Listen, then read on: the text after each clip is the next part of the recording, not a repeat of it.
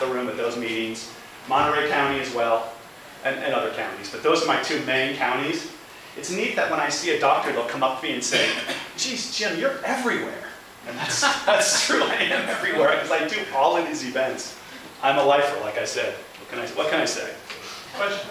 Yeah, So you're talking about integrating with, with your operatory uh, computers? uh-huh. Is the technology there at this point to have the sensors go directly to a, a tablet of some sort, a mobile tablet that is hooked up to a wireless net- network? I mean, I saw you have a USB port, Yeah. but you still have to be able to download some type of reading software on your tablet, right? Um, yes and yes. We have, we have different sensors. We have a 6500 sensor, which is the model number. Okay. That's a wireless sensor. Um, Wi-Fi connection, not Bluetooth. Um, so that would, that would be one way to do it. I just have a tablet. A lot of the oral surgeons like that because they can just jump it real quickly room to room. Um, or multiple office locations. Um, but it's got to be a Windows platform. No, no, no That's what I Macs. going, is, is it- it- Not technology yet. at this point to plug straight into an iPad? Not I yet. get great images when I do them on the iPad. No, but the, the Surface is like four hundred bucks or three hundred bucks. I So mean, it's the Microsoft. Yeah, Okay. so you can tug, tug, tug right into that, right, Jim?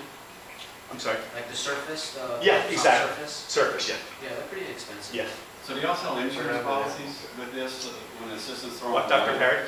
Do y'all sell replacement insurance Yeah. when the assistants throw them away? They throw them away? The wireless ones? Lin- Lynn Bauer, San Jose, anyone know Lynn? Dennis San Jose on, on Bascom. Um, she called me on a Friday two years ago, literally frantic. What am I gonna do? My janitor vacuumed up my sensor. Well, break the vacuum because the sensor is more valuable than the vacuum. Get, get the sensor out of the vacuum and it's under warranty. Yes, it was, thankfully, we replaced it. We replaced the sensors overnight. Our company's based in Atlanta, so the only negative is the three-hour time difference. Tech support's open until 10 o'clock Atlanta time, so that's 7 o'clock for us, which is awesome.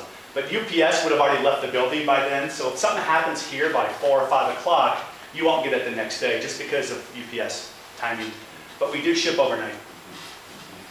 I'm going to talk about Cephs real quickly, and then I'm going to jump to, to Vince. Um, and how we're different in terms, of any orthodontists in the room? Anyone in the room have a Ceph in their practice? Wow, only one. It's a shock. All right, well, maybe, maybe I'll teach you something new. Who knows? We're famous for the one-shot Ceph technology. All film pan Cephs were one-shot Cephs. When, when doctors upgraded to digital Cephs, unless they bought ours, they took a step back, because now it's becoming a scanned Ceph, which we're going to talk about. So one pulse of radiation, full image is captured at one time. Even these were one-shot sets. All the old digital, di or the, excuse me, dinosaur uh, film sets. One shot, boom. So now the scan technology works like a copier machine or a fax machine. If you hold this completely still, you're going to be okay, right? But if you move a little bit, this is a problem. So it works like the light bar in a copier machine. Patients move, children who squirm, or adults like me that squirm, anyone with special needs, you have a problem. Dr. Ma is the clinical director at, uh, for ortho at UNLV. He's also the clinical director now at um, ClearCorrect, the brace company.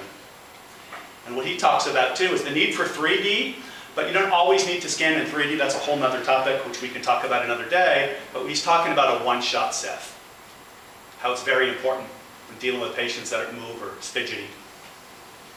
No disrespect to these companies. I used to sell all of them except for one of them. Absolutely great products. However, they all have a scanner technology. And the reason why is because the technology, the, the, the sensor that goes into the Ceph is less expensive. So that's why companies manufacture that type of machine or that type of technology because it's less expensive. And also, our Ceph is a little bit larger, which could be a problem, but that's because of the one-shot technology. Once again, minimizes distortion. All of our pan sets, all of them, one shot.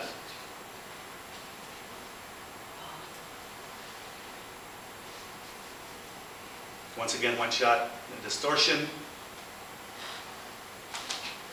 Also for the Ceph, most of the orthodontists, they want to be able to capture the full head for tracing and whatnot. Our, our software has automatic Ceph tracing capabilities. You can still go through and outline the Ceph for yourself if you choose to, but it'll, it'll automatically outline that. Optimize contrast, enhance bone density, and then your edge enhancements.